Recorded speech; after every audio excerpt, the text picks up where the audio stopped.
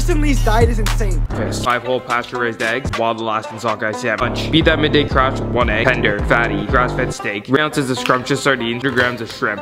Finish the night right with some more of them eggs of canned, ready-to-go salmon. 5 ounces of grass-fed, grass-finished ground pork. To get and stay that lean, he's consistently eating in a calorie deficit. And in order to keep and potentially build muscle, he needs to be eating a ton of protein, well over a gram per pound of body weight. And he barely eats any carbs, making him look leaner. But without carbs, you're not feeling your glycogen stores in your muscle. So not only is he gonna look smaller, but he'll have less energy and worse performance in the gym.